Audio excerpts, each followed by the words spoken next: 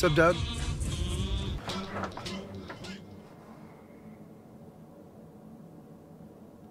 My light's flickering. Stop. Stop it. It's not distracting, right? How about now? Why? I mean, five minutes ago it wasn't doing this. Now it's doing it. Don't keep old lights. Ooh. Ah, it went out again. ah. What was even going to talk about? I don't even know now because this light is just distracted me. Anyways, last night, uh, my family went. My sister came in town, her husband, her kid, my brother Jason, everyone came, and we attended Briony's big ceremony where she accepted the key to the city. So I guess her teacher had written a letter to um, submit her as an Aurora Scholar student, and she was picked. And then all the schools get together, and all the top kids walk across stage, and they get the key to the city, and they get to shake hands with senators and mayor, and I think there's a congressman there. I think Mike Coffman even wrote a letter. I didn't vote for him, but thanks anyways. Beyond that, I'm just so proud of my daughter. She was extremely premature when she was born. Um, she was in the hospital for a month when she was born, and then she's now like a giant. She's in like the 98th percentile for height. She's really good at soccer. She's like the best goalie on her team. Her uh, she's doing really well in school. But the main reason she was picked for this was because she did a lot of standing up to bullying this year and making sure everyone was included in her class and just being an all-around leader. She's just an amazing little kid. She always puts others before herself, and it's just like it's just really cool to see those kind of qualities in your kid when they told us why Briony gets the key to the city, it was awesome because it was like every the whole list of everything was like everything you'd ever want to hear about your kid, and it just like it just makes you so proud as a parent.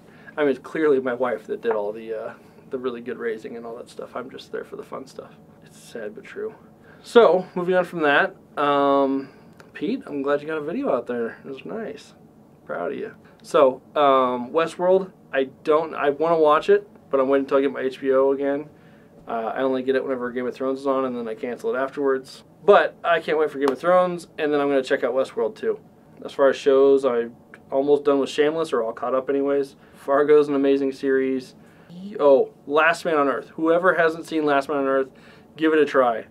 The humor, it's just Will Forte is this show is meant for him. I think he wrote it, so that's probably why it was meant for him. But Last Man on Earth, you have to watch that show. Better Call Saul's fun. Of course, it's not as good as Breaking Bad, but and if you haven't seen Breaking Bad, what are you doing? Go do, like, go stop watching this and watch that. That's much better.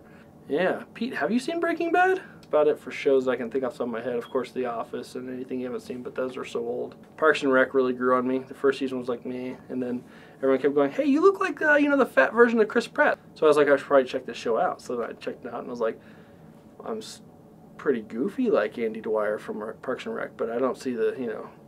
Yeah, so this weekend we are going to look at boats. There's two we want to look at. I think we decided on smaller of the two because there's more work that needs to be done on it and we need to learn to work on boats. So, Pete, I don't know if this is why you didn't do the video, but you need to show us a couple cool pictures. I need to see some pictures, some of your photography. I want to see how you're progressing.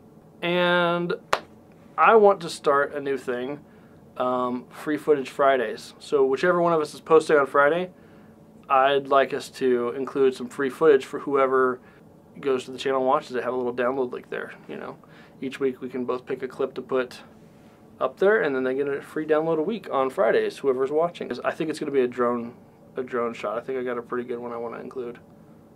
Look tomorrow for a free drone shot. I don't know how long they'll be up there because I don't want to keep filling up my Dropbox storage. So if it's on there, download it right away. Um, and a few months from now, if it's not there, I'm sorry, but there'll be new ones every Friday. So I'm starting that. I'm making the decision. It's happening on Fridays. So yeah, that's uh, that's all I got. That's what's up.